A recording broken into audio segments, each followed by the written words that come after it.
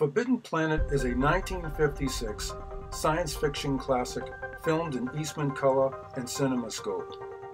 The movie was directed by Fred Wilcox, who also directed Lassie Come Home in 1943. The film stars Walter Pidgeon as Dr. Edward Morbius and his daughter, Altair, played by Anne Francis. Also starring is Leslie Nielsen as Commander John Adams and Warren Stevens, who plays Lieutenant Doc Ostrow. And look for Earl Holliman, who plays the ship's cook. The story takes place in the 23rd century. The starship C-57D is on a mission to Altair 4 to locate and find survivors of an expedition sent there 20 years earlier. After arriving at Altair 4, the ship comes in contact with Dr. Morbius and is told not to land. But Commander Adams ignores his warning and lands the ship.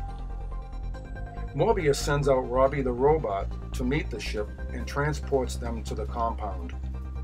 When they meet Morbius and his daughter Altair, the doctor explains what happened to him and his party, and how they survived with the help of a race of aliens called the Krell, a highly advanced race that perished over 200 years ago.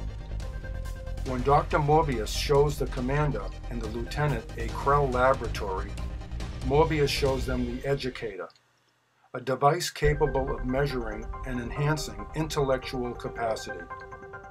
Adams has orders to bring back all known survivors, but Morbius rejects this and tells Adams him and his daughter are not leaving. That's when the crew begin to be killed and Adams finds out it's Dr. Morbius's id. He calls monsters from the id. It's Morbius's own subconscious mind that's killing the crew. This movie has excellent acting, great special effects, and good action. So check this film out on DVD or Blu-ray, and I'll see you in the next video.